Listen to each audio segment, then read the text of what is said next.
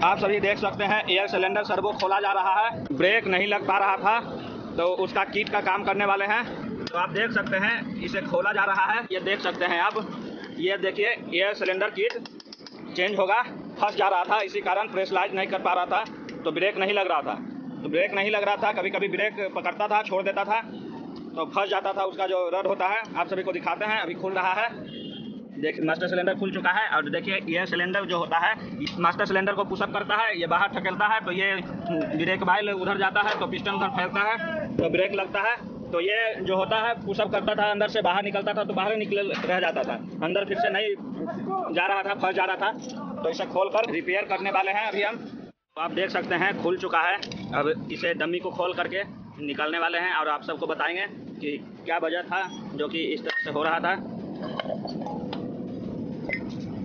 आप देख सकते हैं, इसके कारण ये जो है डस्ट ये पूरा जंग खा गया है। तो ये इसमें जंग लग जाने के कारण ये फंस जा रहा था। ये अंदर बाहर जो होता है, ये प्रेसलाइज नहीं हो पा रहा था, रुक जा रहा था जहाँ तहाँ। तो इसी के कारण ये ये जंग लग जाने के कारण सही से काम नहीं कर रहा था एयर सिलेंडर तो इसके जगह पर हम एक पुराना एयर सिलेंडर जो है रखे हुए थे। तो उसका एयर सिलेंडर लगाएँगे। और इसका जो ये किट होता है, आप देख सकते हैं। ये जो किट लगा हुआ रहता है इसमें, ये किट को चेंज करेंगे।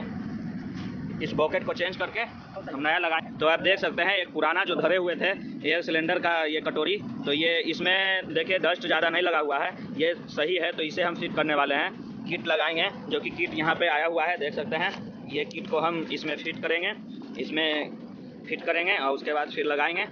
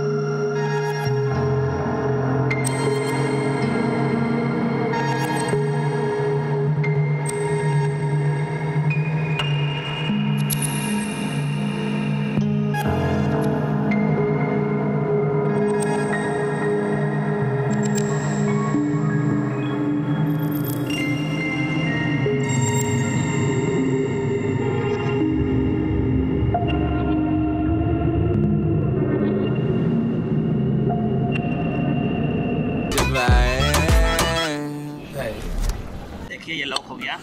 तो ये कुछ इस तरह से ये फिट हो गया। देख सकते हैं ये लॉक हो गया है। देखिए कुछ इस तरह से ये लॉक रहता है। और ये सेट हो चुका है।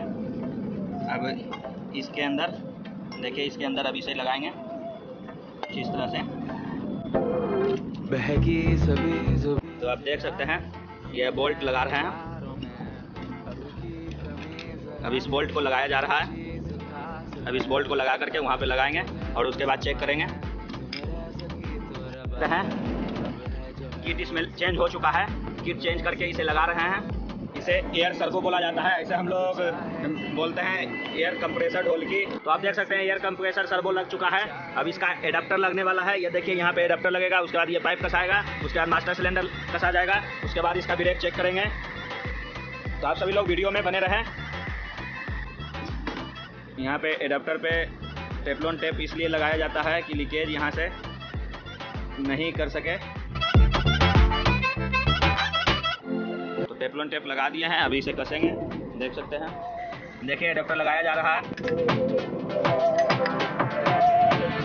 तो एडाप्टर लग चुका है। अब पाइप कनेक्शन करेंगे। देखिए पाइप कनेक्शन हो हो चुका है। अब इसे हम टाइट कर देते हैं। देखिए पाइप कनेक्शन हो चुका है। अब इसे देखिए चेक कर रहे हैं। देखिए, अब ये सही तरीके से काम कर रहा है। देखिए, पैंडल दबाने से ये बाहर और अंदर सही तरीके से हो रहा है। यही नहीं हो पा रहा था, फंस जा रहा था, इसी कारण ब्रेक नहीं लग रहा था। ये ठीक हो चुका है। तो आप देख सकते हैं अभी से मास्टर सिलेंडर को लगाएँगे, उसके बाद ब्रेक चेक करेंगे। तो देखिए, ये प्लेट जगह पे पहले लगता है। प्लेट को लगाकर तरह से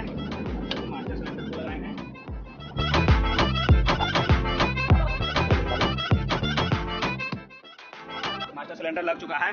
अब इसका ब्रेक चेक करने वाले हैं। तो देखिए गाड़ी स्टार्ट कर रहे हैं। ये देखिए बूढ़ा। अब देख सकते हैं गाड़ी स्टार्ट हो चुका है।